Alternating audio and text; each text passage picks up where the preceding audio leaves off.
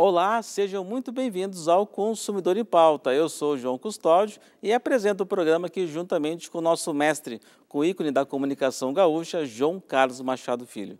Lembrando você de casa que o programa é de prestação de serviço, né? Então a gente tira muitas dúvidas do pessoal de casa sobre as diversas áreas de direito, empreendedorismo e turismo. E aproveito e te convido a mandar a sua pergunta para nós no nosso WhatsApp que está aparecendo aqui embaixo, no DD 51 985-946-773 ou também pode mandar sua pergunta por e-mail consumidorempauta.tve.com.br. E o assunto de hoje é direito de família e quem está aqui conosco é o especialista no tema, doutor Pedro Verde. Muito bem-vindo. Muito obrigado, João. Satisfação estar aqui mais uma vez. Bom, então já vamos já com as perguntas dos nossos telespectadores. Vamos lá. Começamos com a telespectadora Vera, aqui de Porto Alegre. O dinheiro emprestado para um filho e não devolvido, provado por depósito bancário enquanto a mãe é viva, pode ser considerado parte da herança depois que a mãe morre? É importante colocar no testamento esse empréstimo feito, já que tem outro herdeiro, doutor? Pode, pode ser considerado sim. Vamos do final para o início. Não tem necessidade de colocar em testamento esse valor. Claro, o, o titular do patrimônio pode colocar o que quiser em testamento. Ó, adiantei esse valor, fica como adiantamento de legítimo ou sai da parte disponível. Mas não há necessidade. É importante que esse, que esse comprovante desse empréstimo aí seja, seja guardado e no momento do falecimento da, dessa mãe que emprestou, esse valor vai ter que vir. O filho que recebeu vai ter que trazer, ó, já recebi esse valor, ele tem que ser abatido da minha parte. Mas se ele não falar nada. Pois então, exatamente. O teles, a nossa telespectadora sabe. Então, ela tem que, de alguma forma, demonstrar isso. O que, que a gente sempre recomenda quando envolve empréstimo de filho, de pai para filho? Que se insira no imposto de renda tanto o pai que está emprestando quanto o filho que está recebendo, mas daí isso pressupõe a boa-fé do filho que está recebendo. São os casos mais tranquilos que o judiciário acolhe imediatamente. Não, está ali. Então é um valor que tem que ser devolvido para o espólio, né, que é o conjunto de bens do falecido. Mas esse comprovante ele tem que ser guardado de alguma forma, tem que ser guardado, senão o que, que vai acontecer? O inventário ele não se presta para discutir, ah, emprestou ou não emprestou isso aí, pre, desde presente, vai saber depois. Isso aí teria que ser decidido numa ação paralela, numa outra ação. O inventário é uma ação, ela é uma ação que serve para arrecadar os bens, relacionar os bens e partilhar. Se tiver que discutir emprestou, não emprestou e não tiver prova documental, vai ter que entrar com uma ação paralela para ouvir testemunhas, o inventário vai ficar esperando essa decisão. Então, ah. tendo documento, é mais tranquilo. Enquanto tiver essa discussão em paralelo, o inventário fica paralisado? O inventário fica paralisado, porque pode aquele valor fazer, vai fazer diferença, consequentemente, na partilha. Se for algo que possa demorar muito, às vezes o inventário é finalizado e aqueles valores ficam para sobrepartilha. Tudo varia do caso a caso, varia do quanto desse valor que é adiantado, às vezes é um valor que não compromete uma partilha, às vezes é um valor que não compromete uma partilha, é um percentual grande frente ao patrimônio, é o que eu sempre gosto de dizer. A gente tenta responder da maneira mais uh, completa para os telespectadores, mas no direito de família, tudo depende do caso, cada caso é um caso. Bom, então vamos para a nossa per próxima pergunta da telespectadora Fátima. Minha no nora, namorada do meu filho, tem uma herança, mas os irmãos pegaram a parte que era dela. Ela é menor de idade o que pode se fazer? Bom, em primeiro lugar, tendo uma herdeira menor, o processo de inventário ele obrigatoriamente é judicial. Ele tem que ser um processo e o Ministério Público vai fiscalizar, acompanhar esse processo para verificar se os direitos do menor está sendo assegurado. Então, assim, primeira coisa me chama atenção. Se houve um processo, não tem como terem se apropriado da parte dela. De forma indevida. Se ela tem um pai vivo, eu não sei quem que faleceu ali, se foi pai, se foi mãe, enfim, se ela tem um genitor que ficou vivo, ele representa ela nesse processo. Então, em havendo um processo, não tem como isso ter ocorrido. Agora, se foi aquela situação, faleceu, foram lá, tiraram o dinheiro da conta, etc. Bom, ela vai ter, a nora da telespectadora, por intermédio do seu representante, o pai, quem ficou vivo, quem, quem permanece, ingressar, se habilitar nesse processo de inventário e brigar pelo, pelo que sejam assegurados os direitos dela, porque num processo de inventário não tem, não tem como. Você vai ter um juiz ali que vai decidir, vai olhar o patrimônio todo, vai arrecadar, levantar o patrimônio, relacionar e vai dividir de acordo com os quinhões de cada. Então, se não foi, se não houve um inventário ainda judicial, porque tem que ser judicial, o representante dela, quem responde por ela, enquanto menor, tem que tratar de se fazer esse movimento para encaminhar esse inventário. Essas questões sucessórias é importantíssimo essa questão de uma preparação. É um tabu, muitas pessoas, enquanto vida, a gente sempre, sempre se acha que é imortal, né? Pois então. Por mais que todo é. mundo morre, menos a gente, né? A gente sempre é. acha. E a gente deixa esse assunto sempre para depois, e depois, no fim, acaba tendo um problemas, famílias destruídas por conta disso. E um pouquinho de prevenção, de um planejamento, resolve, evita um problema enorme lá na frente.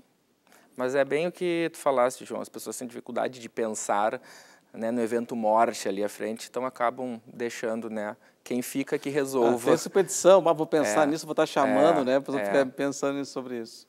Bom, temos agora uma pergunta de um telespectador anônimo. Meu pai fez testamento, deixando bem claro para quem iriam os bens que possuía. Ótimo, né, doutor? Já fez um. Muito bom. Vamos fazer o inventário agora. O que estava estipulado no testamento é o que vai para o inventário? Isso é divisão de bens? Ou pode haver uma alteração nisso?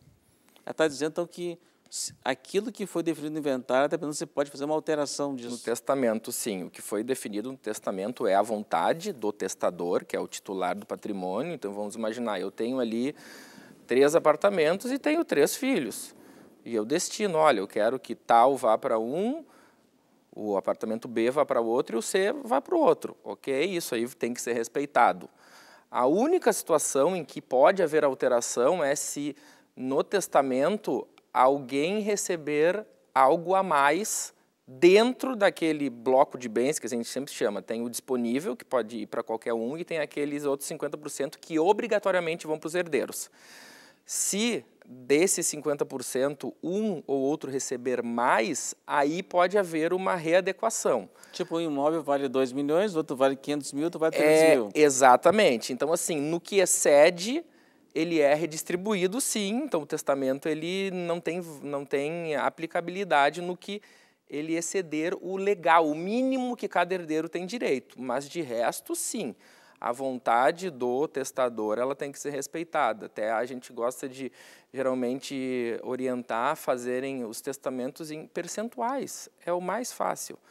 33% quando não se tem herdeiro necessário, né? ou quando se tem outro herdeiro que queira contemplar mais, ou um filho mais próximo do que um outro mais distante.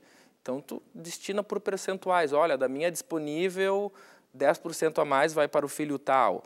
Mas, em regra, respondendo a nosso telespectador, o testamento vai ser cumprido. Salvo se ele violar a legítima, lembrando, eu vejo que tem muita dúvida nesse sentido, o que é a legítima? Aquele percentual que obrigatoriamente vai para os herdeiros necessários. 50%. 50%. Bom, vamos para a pergunta da telespectadora Letícia. Outro dia, conversando com familiares sobre herança, surgiam dúvidas sobre o que é parte legal, o que é a parte disponível de uma herança. O que cada um representa, doutor Pedro? Olha, essa pergunta aí, ela responde exatamente a questão que a gente falou. Todos os herdeiros, ele têm direito, é assegurado aos herdeiros necessários a herança sobre a parte legítima. O que, que é a parte legítima ou indisponível, que aí ele trata como legal? Porque ela é estabelecida por lei. 50% dos bens. Então vamos imaginar ali que do meu acervo patrimonial de 100%, tá? E eu tenha seja casado e tenha dois filhos. Esses 50% obrigatoriamente vão para cônjuge e filhos. filhos. Os outros 50% que é disponível vão para quem eu quiser. Eu sempre dou o exemplo. E pode ser para não familiar, inclusive. Eu sempre dou o exemplo da Santa Casa, que era muito comum antigamente, pessoas que não tinham herdeiros doavam para a Santa Casa, um hospital de acolhimento, inclusive tinha acolhiam crianças abandonadas, eram deixadas na Santa Casa, então doava-se, doava-se não, testava-se em favor da Santa Casa ou da igreja. O 50% disponível vai para quem quiser. Quer deixar para um vizinho com quem tem uma proximidade. Os outros 50 da legítima ou legal, como ele refere, porque a lei manda, vão para os herdeiros. Então é isso. A legítima é o que vai obrigatoriamente para os herdeiros necessários, descendente, cônjuge, companheiro e ascendentes. E a disponível vai para quem o titular do patrimônio quiser. No caso, ele poderia destinar, não poderia destinar 100% para a Santa Casa, já que ele tem filhos. Ele pode, no máximo, 50% Exatamente, exatamente. Bom, vamos então para a pergunta do telespectador anônimo. Minha mãe manteve união estável não registrada por 15 anos. Agora o companheiro dela faleceu e queremos ver se ela não teria direito a uma pensão dele. O que devemos fazer para que ela seja amparada? Ela tem direito sim, mesmo que não esteja registrada. Essas questões de, de, de pensão por força de morte, ela tangencia um pouco a área do previdenciário, mas como é uma questão reiterada, eu tenho, tenho condições de responder. Só que vai variar do órgão pagador, depende do órgão pagador. Por exemplo, eu sei como é que funciona no INSS. Então, assim, se tem a união estável mesmo não registrada, a, é uma viúva, né? Viúva. É uma viúva. Ela vai se, se habilitar no INSS, eles vão dizer para ela: precisamos de tais documentos para que a senhora comprove essa união estável geralmente é um processo uh, relativamente simplificado, que até me, me, me, gera surpresa saber isso, porque a gente sabe quando envolve ente público... Geralmente é burocracia, a gente lembra é, burocracia. A gente sabe que é burocracia, mas no, no INSS, por exemplo, não é muito complicado. Alguma uh, contas comprovando que moravam sozinhos, uh, moravam junto, dividiam, tinham vida em comum, fotos, etc., se habilita e assegura o recebimento daquela pensão do companheiro que faleceu. Agora, estou falando de INSS, por exemplo, um IP ou alguma outra autarquia, aí, um órgão previdenciário diverso, eu teria que ver no caso a caso, daí um advogado previdenciarista vai poder dizer melhor. Até pode, pode talvez submeter essa questão novamente e encaminhar para o nosso colega aqui que responde. Nesse caso, sempre é bom formalizar isso, né, doutor? Tipo, é. porque depois, para provar isso, Hoje está simplificado, amanhã pode estar complicado. Né? Exatamente. Né? É, podem começar a exigir mais requisitos. Porque se essa união estável está documentada, é só o documento. Ponto. O que está documentado é o que existe ali inquestionável. Bom, doutor Pedro e telespectador, a conversa está muito boa, mas vamos ter que fazer um breve intervalo e já já voltamos. Bom,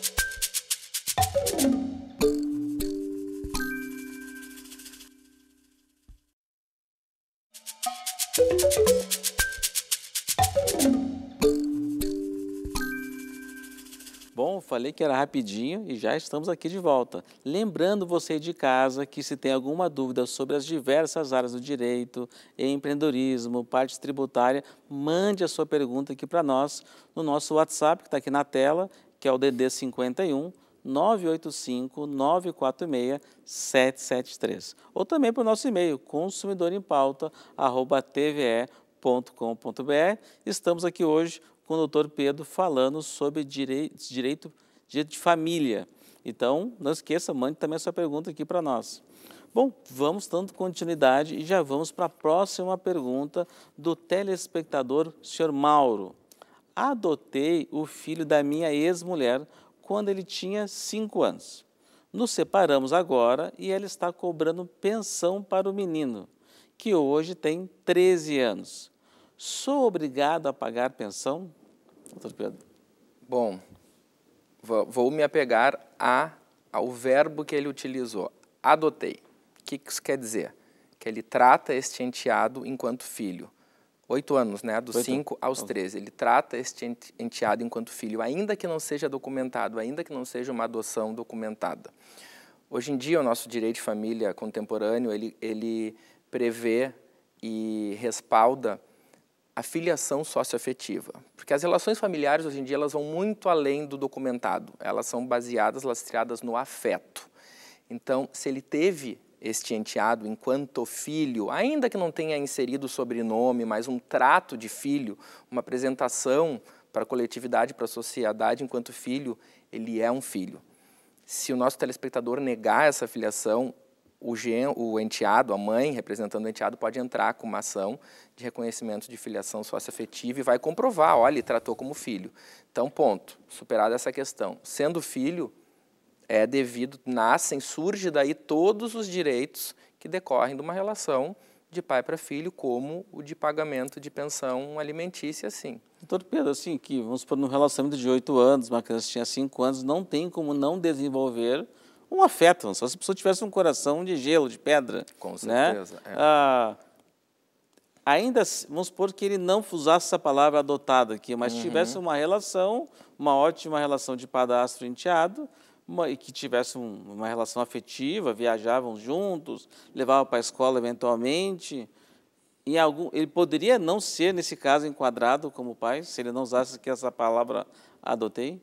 Não, poderia, claro. Muitos padrastos e madrastas cuidam, auxiliam no, no, no crescimento, na formação dos, dos seus enteados, como é perigoso, olha só, como se filho fossem. Não, pode haver uma distinção, mas assim, ó, essa é a legítima questão, caso a caso.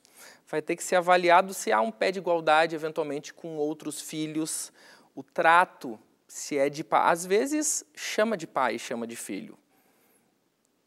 Então, a gente percebe quando há um tratamento enquanto filho, e ele, vamos dizer que é um, ato falho, ele utilizou a palavra adoção. Então, vamos imaginar que esse pai estivesse numa audiência na frente de um juiz para tentar provar que ele não. Se ele falou adotei, muito possivelmente ele está confessando que cria este enteado enquanto filho. Então, o sistema, o nosso sistema legal, ele prevê isso. Ele prevê isso em respaldo à criança, porque a, a, a filiação hoje ela vai muito além de um vínculo genético, como todas as relações familiares.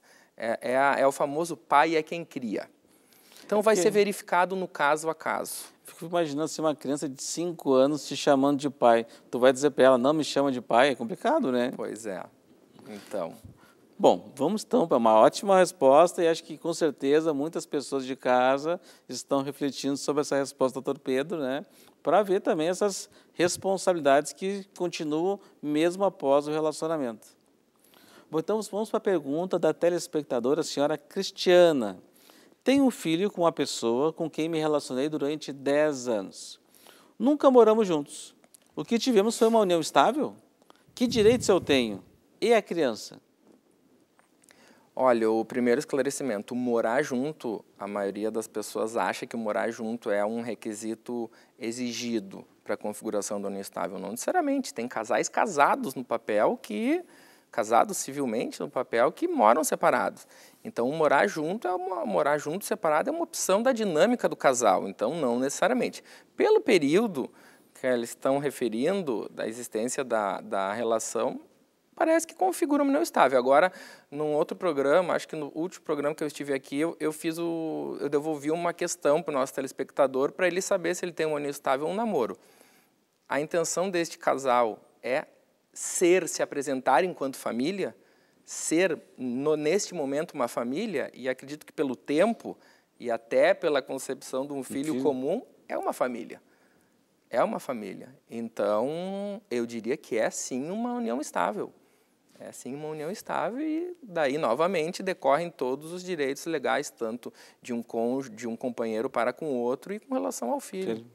É, nesse caso acho que está mais fácil de, de configurar, né? É, mas olha, importante que nossos telespectadores tenham bem claro que morar em endereços diversos não significa que hum. não seja uma não, família. Não é uma garantia. É, quantos casais, em razão de trabalho, moram Cidades diferentes. separados? Ok, ah, é em razão de trabalho. Mas não, tem casais que optam. E hoje em dia as famílias são, são plurais, elas têm dinâmicas diversas. Às vezes casais optam por permanecer cada um na sua casa, uniões estáveis, namorados que moram juntos e não necessariamente é uma união estável. Às vezes até por questão financeira, na pandemia muitos casais jovens foram morar, que moravam de aluguel, estudantes, foram morar juntos para auxiliar no, no, na, na, divisão das despesas, despesas, mas continuavam querendo ser namorados, não se viam enquanto família. Então é muito, tem que ter muito cuidado nessa questão. Então, ó, muitas, muitas reflexões. Eu vejo pessoal, fico imaginando o pessoal de casa pensando, tu, tu, tu. Que bom que estão trazendo essas questões aqui para compreender como é que Bom, funciona. Agora temos uma pergunta de uma telespectadora anônima. Vivo uma união estável há cinco anos. Agora estamos querendo casar. O processo legal para que a gente possa casar é mais rápido por conta dessa união estável de cinco anos? Olha, a nossa legislação prevê que será facilitada a conversão da união estável em casamento. Eu vou lhe dizer que todas as situações no meu escritório que vieram clientes com união estável, para converter, eu sempre recomendei. Esquece, vamos casar do zero. Não significa que aquela união estável não vale, entendeu? Mas vamos iniciar o processo de habilitação da união, da, do casamento, que é muito mais simplificado do que a conversão. Tu acha que a telespectadora quer fazer um casamento retroativo, é isso? Não, não, não. Ela quer... Ela tem uma união estável e ela quer casar. Então, tu pode chegar num registro civil e, ó, oh, eu tenho união estável, eu quero converter em casamento. Mas é mais fácil chegar no registro civil e dizer, eu quero casar. Eles vão te dar um formulário que tu vai preencher, vai entregar depois com o preenchido, com o documento dos padrinhos, que os padrinhos do casamento civil nada mais são do que testemunhas. Testemunhas. Tem que ter duas testemunhas. É um processo simplificado que não precisa de advogado. A gente recomenda que se consulte advogado para auxiliar na escolha do regime de bens. Que senão o, o, o cartório do registro civil, que é onde as pessoas casam, ele vai, ele não tem obrigação de orientar profundamente quem lá chega para casar. Eles vão explicar por cima a diferença entre os regimes de bens, mais por cima do que a gente explica aqui no programa. Então é importante que entendam qual é o regime para escolher, mas não precisa converter, vai ser mais fácil casar, mas que fique claro, o efeito é o mesmo, o efeito prático é o mesmo com relação à pensão, regime de bens, regime de bens não, com relação à pensão, direitos, a relação já existia no casamento. É só procedimentalmente é mais fácil pensando, casar. Casar é tão fácil, mas para separar depois já é, é, né, mais, é diferente. É, é, mais complicado, mas não é o processo de separação que é complicado. As pessoas Sus. é que complicam. Ah, tá, São tá. as pessoas é que complicam. Né? Muito bem observado. Bom, ah, é que geralmente os relacionamentos é difícil terminar uma coisa assim 100% numa boa, né? É difícil. Envolvendo Na tua experiência filhos lá... menores, não. Não. Ah, eu diria que 70% vão para o litígio, né? Vão para a discussão até judicial. Que, até que eu pensei que fosse pior, até. É, porque quando, quando termina a paixão e o amor, vem uma série de, de questões, mágoas, e as pessoas acabam projetando isso nos filhos ou numa questão patrimonial e acaba infelizmente virando virando é o que cega cega um casal que está se separando até do, do, que é razoável do que seria razoável. Então acabam canalizando naquele processo ali uma série de questões que estavam lá guardadas. antes guardadas é e é o que acaba dificultando uh, que se atinja que se alcance um acordo para terminar um, uma relação Bom, temos uma, uma pergunta aqui da telespectadora, a senhora Neuza. Meu filho vai completar 18 anos no mês que vem. Ele deixará de receber a pensão alimentícia automaticamente, doutor Pedro? Não, não deixará não. Essa também é uma outra ideia, como tantas outras da, da, com relação a pensionamento que as pessoas têm e faz parte, né? são leigas no assunto, mas não. O direito ao recebimento de alimentos, ele perdura enquanto filho demonstrar necessidade o recebimento daquele valor para o seu sustento, para que ele tenha acesso à moradia, para que ele tenha acesso à saúde, para que ele tenha acesso à educação. Hoje em dia, com 18 anos, um jovem, um jovem adulto que está chegando no início da vida adulta, ele ainda está se estabelecendo e iniciando uma vida profissional, digamos assim, muitos ainda estão estudando, indo para uma pós-graduação ou fazendo um ensino profissionalizante. Então, ainda que trabalhem, vamos imaginar que um filho precise de 800 reais para se sustentar, para ter uma vida digna, e comece um trabalho ganhando 500. Exemplificativo os meus valores, tá? Precisa da, do auxílio desse pai e dessa mãe na quantia de 300 reais. Então, enquanto houver essa necessidade para o sustento, não é para luxos, né? para o sustento, esse eh, dever alimentar do pai, o direito de recebimento dos alimentos, ele permanece. Então, assim, ó, novamente, cada caso é um caso. Mas não tem um limite? Vamos supor, até os 21 anos, se estiver estudando? Não, não. 20, isso aí, para fins de recebimento de pensão de órgãos uh, governamentais, existe limites e eu arriscaria dizer, daí, novamente, é, é a, a questão previdenciária. Se não me engano, é até os 24 anos estudando. Mas, mas para ver, se o Estado, a União, pagam pensão quando um pai e uma mãe daí falece para o, o filho que dependia daquele pai e daquela mãe até os 24 anos estudando. Então, imagina num caso que não tem, que não é o, o Estado que está regrando. Então, assim, esse filho ele tem que provar que, que necessita. Agora, se esse filho está trabalhando e se sustenta, ou saiu, contraiu uma, uma união estável, não, já está casado, já tem uma união fática. Não, peraí, quem constitui uma família não precisa mais do auxílio do pai. É, é assim que, a, que o entendimento jurisprudencial, o judiciário decide. Doutor Pedro, passou o tempo voando, tem mais perguntas que ficaram aqui, mas vamos guardar para o próximo programa. Queria te agradecer pela presença hoje e agradecer a nossa audiência e amanhã estamos de volta.